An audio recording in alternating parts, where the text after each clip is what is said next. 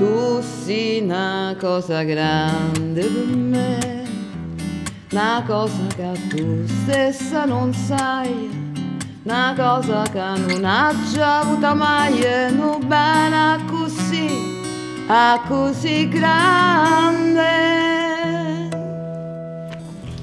Ciao, sono Fabio Mariani Tiziana De Carolis. e insieme a Giorgio Rosciglione abbiamo prodotto questo CD Jazz Made in Italy, pubblicato e distribuito da Universal Music Italia e all'interno abbiamo anche due ospiti, Amedeo Variano alla batteria e il grande Renzo Arbore con cui abbiamo giocato su un pezzo di Natalino 8 degli anni 40.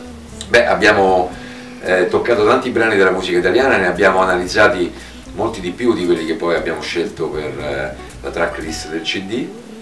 E il brano che abbiamo appena accennato era Tu sei una cosa grande, con cui il CD si apre, Sì. eh, dove abbiamo trovato anche queste sfumature un po' ispaniche, queste, un po' di flamenco, un po' di...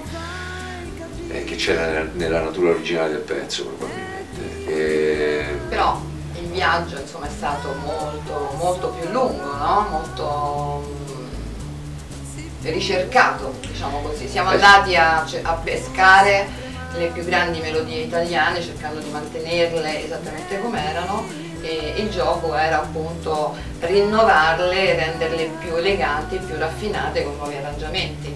Questo ha avvicinato certi brani che noi nella memoria abbiamo come pop, ehm, li ha ripresentati in qualche modo, sono stati ripresentati in qualche modo come brani jazz.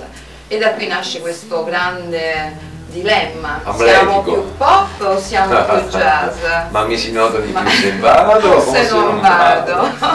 Vabbè, alla fine non- secondo me il jazz e il pop sono tag, sono una catalogazione che va bene nelle biblioteche, nelle discoteche. Un musicista suona qualunque cosa col proprio linguaggio, Esatto. eh, per cui pop, jazz, alla fine la differenza forse sono gli assoli, ma fondamentalmente eh, abbiamo suonato la musica italiana eh, da italiani eh, che conoscono anche il jazz.